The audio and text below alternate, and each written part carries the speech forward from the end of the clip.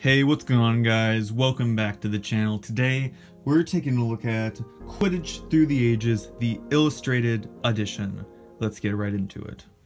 So here's the book itself. It retails for $34.99 and came out in 2020. Now you should be able to find the book for a little bit cheaper on like Amazon.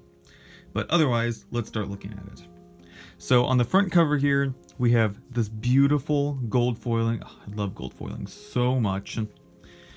And a snitch right in the cover. Now, it should be noted that the snitch's wings and the snitch itself here is a glossy print and it has some nice texture in the wings as well as all the areas where you see gold are slightly inset into the book so it has kind of a nice a nice feel to it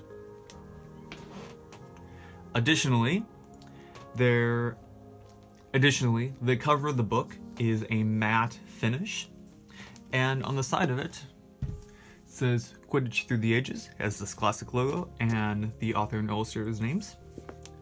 And on the back, it has some information about the book itself here. A Ron Weasley quote, some uh, illustrations from inside, the different trademark logos, the two charities this book benefits, which is Lumos and Comic Relief, the barcode, and the other copyright information. So, let's get into the book itself. So opening up the book, we're met with this beautiful inner graphic, which is of a couple people playing Quidditch, an owl, looks like a bludger, and some stars, and then a Hogwarts library card right here. Now this is a callback to the original Hogwarts library books that came out that had pictures of a library card in them with names filled out on there. Opening the next page, we have an ending of all of that graphic right there. And then the first picture of the book. The next page, we have some brief information about Quidditch in here and some different players.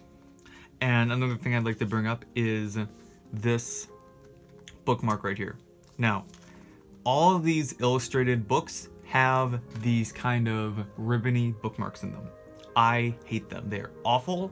They they leave imprints on the book's pages because what happens is they tuck it in nicely and they close the book up so it keeps the bookmark itself safe, but then the books get stacked in shipping and it presses the bookmark into the pages and it leaves a design of the bookmark on the page right? And you can't really tell but it's there and you can and you can feel it because it leaves this exact this kind of texture inside the page and it's only on the pages the bookmark is tucked into but nevertheless it's awful it sucks I hate them there's no point in having these there they're just I I hate them they're awful getting past that we have other works by J.K. Rowling. We have the Quidditch Through the Ages logo. We have copyright information. And we have uh, a thank you by the author from uh, Comic Relief and Lumos. Next, we have the table of contents right here and a couple of Quidditch players. So here's all the table of contents. Then we have a foreword by Albus Dumbledore, and here is the artist's rendition of what Dumbledore looks like with Fawkes the Phoenix. Moving on, we have the first page. The illustrations in here are gorgeous. They are so pretty. I love them. I mean, they look really realistic.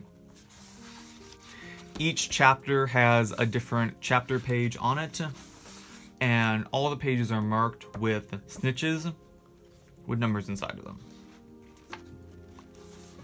So like here's chapter 4 right here, and it has another beautiful illustration right there. And there's even fold out pages like this one here. So these two pages fold out to reveal a huge tapestry. And you just fold them back in. You just want to be careful when you're you're flipping the pages; these don't get bent in there.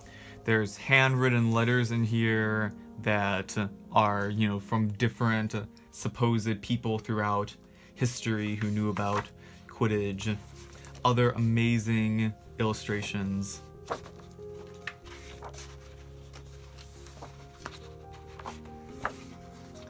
Huge ones like this that are so, so pretty. And then at the very back of it, it has some different Quidditch plays. And then about the author and about the illustrator. And then, of course, some information on what Comic Relief does and what Lumos does and how you can find them on the internet. And then, of course, that same inner page that we saw at the beginning and the back of the book. So, what are my thoughts on the book? I love the book so much. I think it's such a pretty book. The the pages are very thick. They feel very high quality. This does not feel cheaply made. This is meant to be a collector's piece. This is meant to be read and enjoyed. I I love this book. It's it's beautiful. I can't can't express enough how great this is. Now, I will say I do still prefer the Fantastic Beasts book, the illustrated edition of Fantastic Beasts, to this as well as the other one that came out, which is the Tales of Beedle Bard.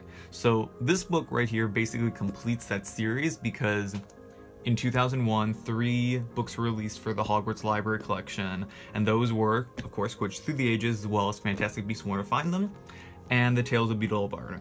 So all those now have been made into illustrated editions, and you can buy them now. They're on Amazon.